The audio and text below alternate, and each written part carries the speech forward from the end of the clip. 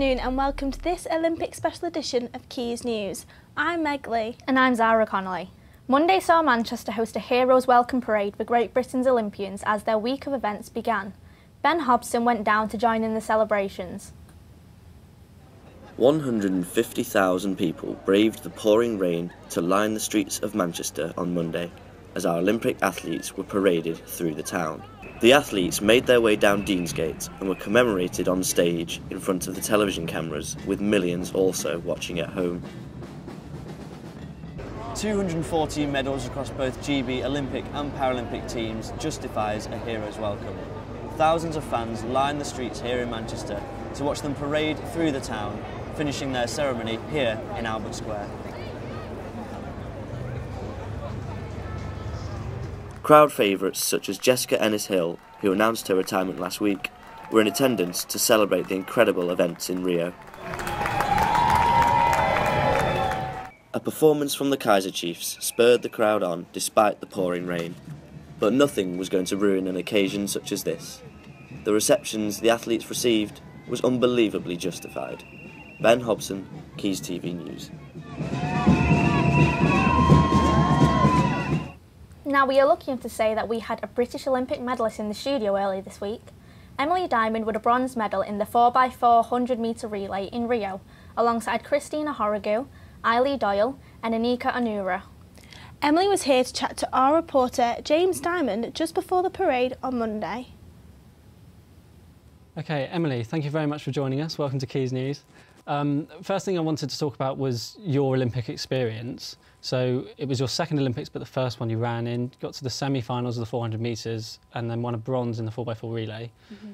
Every Olympian's experience is dramatic in its own way, but yours was more so in the sense that you had a bit of an illness, didn't you, before your 400? Do you want to just talk us through that? Yeah, so my uh, 400 metre heat was on Friday morning. Um, I woke up sort of middle of the night on Thursday morning with um, horrible fever, um, throwing up spent most of the night um, in the bathroom. Um, it was it was not pleasant. I had a horrible fever. Um, had all the sort of medical team um, in my room at 2 a.m. Um, I thought that was my Olympics over. I thought I had such a good season. I'd trained so hard and worked so hard to get to this point, and just like that, it was going to be taken away from me. So I had a few sort of horrible hours um, thinking the worst. but luckily, it, it happened the morning before and not the morning of. Otherwise, it would have been a completely different story. But um, the, the medical staff were fantastic in, in sort of helping me to recover and get hydrated and to sort of flush out anything that was that was bad in my system. And um, when I came to my heat on the Friday, I still was far from perfect. My stomach was still not happy. Um, and I have no idea how I managed to run run around that heat and let alone and then qualify for the semi final. Um, I think the adrenaline is just what got me through. Really, um, I don't sort of quite quite understand how it happened, but I'm, I'm so glad that I managed to sort of not perform how I thought I was going to. I thought I was going to go out there and really struggle, but I was just so grateful that I didn't do that and I still managed to qualify for the semi. Mm. After London 2012, there was a massive parade, of course, through London, but there wasn't one anywhere else. Mm-hmm. How important do you think it is that events like this are held in places outside of the capital? Yeah, I think it's really important. It's lovely. Um, that sort of the local uh, people from this area or, or further up north can can travel to Manchester and they don't have to go all the way to London, which is sort of a greater cost and it's more time out of out of the day or, or the week. So it's really nice, I think, to um, to do various parades in, in different areas of the country. So um, even local children can come out after school and um, and see the athletes um, parading around, which they wouldn't probably be able to do if it was in London, especially it being on a weekday. So I think it's really nice that that there were, and I mean, it's nice for us as well because we get to do it twice. so it's it's nice on sort of every aspect. Um, but no, I'm, I'm really looking forward to it. And how do you think your life has changed, if at all, since winning a medal at the Olympics? Of course, there was something iconic about yours as well in the sense that it was Britain's 66th, so it surpassed London's tally. Mm-hmm. Have you noticed any sort of change in your life since then? Have you been in contact with much more media organisations and things since? Yeah, it's it's certainly been really hectic. Um, there's been sort of events every week since since Rio, whether it's interviews or um, parades or um, celebrations, things like that, which has been so lovely because because the games was abroad and, and away um, from home soil. it's so nice to be able to come back and then sort of everyone's so uh, supportive because although there were so many fans out in Rio, because it wasn't in London like it was four years ago, we didn't see sort of the reaction of of the public and how we were possibly affecting the public um, while it was taking place. So since coming back, it's, it's been lovely and people have been so supportive. I've sort of had messages coming through left, left right and centre, people saying their congratulations and um, and things like that. And it, it's amazing, but it's all still really surreal. And I don't think it's going to sink in for a long time yet that um, quite what we did while out in Rio. But it's been amazing. Okay, well, Emily, thank you very much for joining us here at Quays News. Um, best of luck for the future, and hopefully, maybe see you in Tokyo in four years. No problem, thank you. Crazy Pedro's, famous for its wacky pizza creations, have gone one step further to design special Olympic style pizzas. The pizzas were made from scratch using a range of toppings and were produced on the day of the Olympic parade. The Going for Gold collection was created to commemorate the athletes' performances in Rio and sold out within hours on Monday.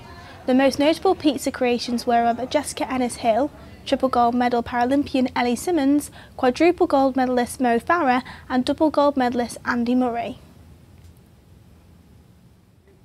One of Salford University's very own professors has been working at the Olympics for the last 10 years as a media expert. Professor Andy Miah's role involves testing new technology for use in the media industry. Our reporter Matt Bulling spoke to him. So for 10 years now, I've been working with the Olympic movement to look at media innovation at the Games. For the last 100 years, at every Olympic Games, there's been something new. So slow motion replay, underwater cameras, 3D TV, HD TV, everything in the media gets piloted at the Olympic Games. So from one Games to the next, you can get a snapshot of really where we are at the cutting edge of technology in, in, in media terms. And so this year in Rio, it was uh, 3D filming, 360 filming, but also virtual reality. That was a big experiment at Rio this year. The fact that the Heroes Parade was in Manchester for the first day is a great indication of where Greater Manchester is and the, and the neighbouring regions are in terms of their investment into sport. You know, we had the Commonwealth Games in Manchester not so long ago, and there's a huge sporting legacy from that. The number of athletes that, went to the Olympic Games in Rio and trained here in Greater Manchester is just phenomenal. So the state of sport here is extraordinary and it's a fantastic place to train and a fantastic place just to grow up learning sports. The, the velodrome the Manchester facilities are extraordinary. It's just, it's just a wonderful place for sports. And uh, one of the Manchester-based athletes at the parade was Hannah Russell of Salford University. Are in a, a word on her? Every athlete is a unique story, and each one is very different in terms of how people get into sports, how they get nurtured through sport, and to have Hannah representing the nation but also the university at the Paralympic Games is just an inspiration, I think, for everyone. Now, we've asked you, the viewers, to share your favourite moments from the Rio Olympics with us. So here we've got at Nathan Salt 1, got to be Bryony Page winning trampoline silver, moment of history for British gymnastics. Well, it really was, wasn't it? It really was because no other GB, well, Team GB Olympian has ever won a medal at the at the trampolining competition. I know it was a re really, really good, really, really good. Definitely. And then we also got another tweet from at Keys RL. The opening ceremony was magnificent, showing the origins of Brazil up to the present day using projected video. Stunning. Did you manage to see the opening ceremony? I didn't, but I can imagine it was spectacular. With Brazil being such a colourful country, I can just imagine it. It, it definitely was. It was amazing. They had these great, massive visuals all across the, the middle of the stadium, oh. which was fantastic. Oh. Yeah. And then we've also got at Thomas Foster underscore when Jess Ennis Hill got a silver. That was really good for her. Yeah. I was so happy for her. Definitely. I think it's going to be such a shame now that she's retired, you know, because she just come back from having a child. And with that in mind, she was such an inspiration to every woman out there. I just, what will the Olympics be without her in four years' time? Exactly. You never know. It's was that your favourite moment of the Olympics? My favourite was when Jade Jones won.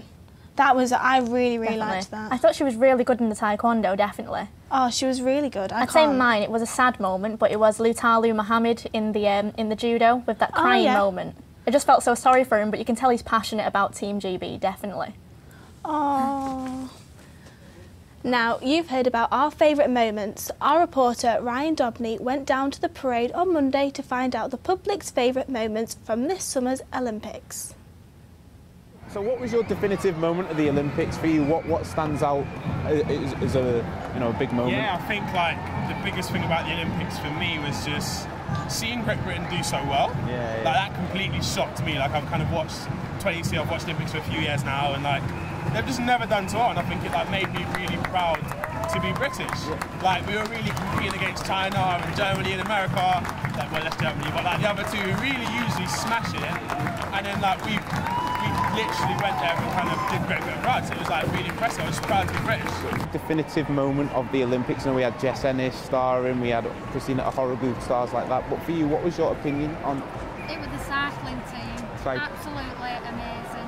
I mean, they got they got sorry, yeah, they got 12 medals overall. And is that something to do with the velodrome up here for the training facilities being in Manchester? Definitely, yes, yes. We work better up north than south. How proud this summer were you of Team GB then? I was amazingly proud. Everybody did so brilliant. I couldn't be any more proud. And should we definitely be taking this into uh, the 2020 Olympics? Yes, definitely, 100%. The Paralympics is because I went to Oli- the Olympics in London in 2012, watched the normal Olympics, and really got hooked on the Paralympics this time, and especially some of the stories. Because I can't remember who, who it was, but one of the girls, she's, she only started four years ago, and she's gone in four years from losing both legs to getting a bronze or a silver medal in the Paralympics, and that's just ridiculous. Like when you look at what I've achieved, or like what most people have achieved in their life, to go from such a low point to such a high point in such a short amount of time is just amazing. Now, that's all from us here at Quays News and our Olympics special. Don't forget to keep sending us your favourite moments from Rio using the hashtag Quays Olympic Moments. Quays will be back next Tuesday at 1.30. Thank you and goodbye. Goodbye.